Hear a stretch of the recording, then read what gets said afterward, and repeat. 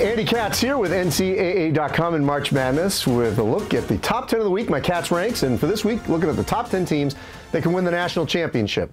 This was very difficult. Tom Izzo, Michigan State, and I were talking about it, and he said, look, there could be 20, 25 teams that win it. I had to get down to 10. There were two I eliminated that I know I'm going to hear about Auburn and Louisville. I think both of them still could win the national championship because I think that list could be upwards of a dozen, 15, 20 teams. The Auburn wins basically all in the last possession. Uh, a lot of those lately uh, scared me a little bit. Shows they can certainly close, definitely at home, but I had to eliminate someone. Louisville lost to Georgia Tech, kind of gave me some pause. I know I'm going to hear about this, but here we go. Number 10, San Diego State. Aztecs through mid February undefeated, one of the top 10 defensive teams in the country. Great offensive and defensive efficiency, according to KenPom. Uh, Malachi Flynn, uh, transfer from Washington State on the perimeter. Matt Mitchell, big time double double type guy. Uh, the Aztecs are soaring right now and look like a team that not only could be a one seed, but certainly could get to Atlanta if they get in the right matchups. At number nine, Seton Hall. Myles Powell, one of the better closers in the country, certainly could be the National Player of the Year. You got Romaro Gill inside. Um, their home loss to Creighton causes a little pause. Creighton's very good, by the way, offensively. But Seton Hall certainly has all the pieces where they could make a run to the national championship. At number eight, I could have certainly moved up Kentucky. I probably will hear about this one, but I got Kentucky there. Manuel Quickley, Ashton Hagans, combine that with Nick Richards, who could be SEC Player of the Year. He's had an outstanding season. They have to be on this list. Maybe I could have gone higher. At number seven, Maryland, I wouldn't have had them on the list about a month ago, but Jalen Smith has started to take over games, certainly on the road. They've solved those issues. Anthony Cowan still is a big shot maker. This Maryland team playing with a little bit of an edge after the way they lost LSU last season in the NCAA tournament. At number six, Dayton.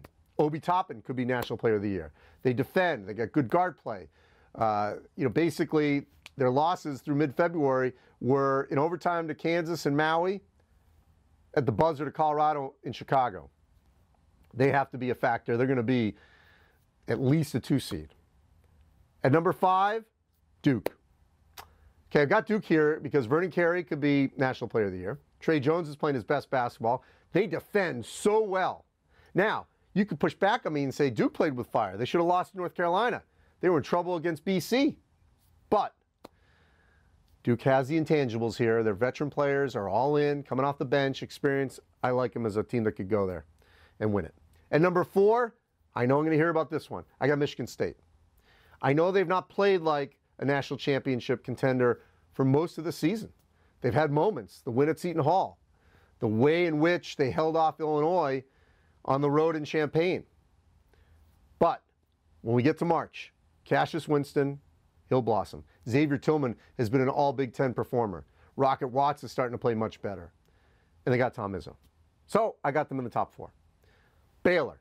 They could end up being the number one overall seed, not just zone anymore, a lot of man, playing it very well. Jared Butler could be, you know, if he's not the Big 12 player of the year, he's going to be certainly first team. And Scott Drew has gone deep before, been in Elite Eights. Uh, he's got a great shot to win the national championship. At number two, Gonzaga.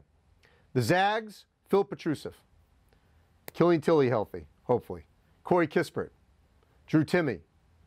The perimeter, Joel Ayayi is playing very well. The transfer guards, Gilder and Woolridge. This team scores better than any team in the country. And they're defending really well right now, at least in the WCC. We'll see if that continues. They have to be considered one of the favorites to win the national championship. And right now, even though they're not in first place alone because of Baylor, because they lost to Baylor, I think it's Kansas. Kansas defensively right now is playing its best basketball on that side of the court that we've seen in years under Bill Self. The way they beat West Virginia in Morgantown, incredibly significant. Udoka Azubuike, very hard to move out of there. Marcus Garrett, great defender. Devon Dotson.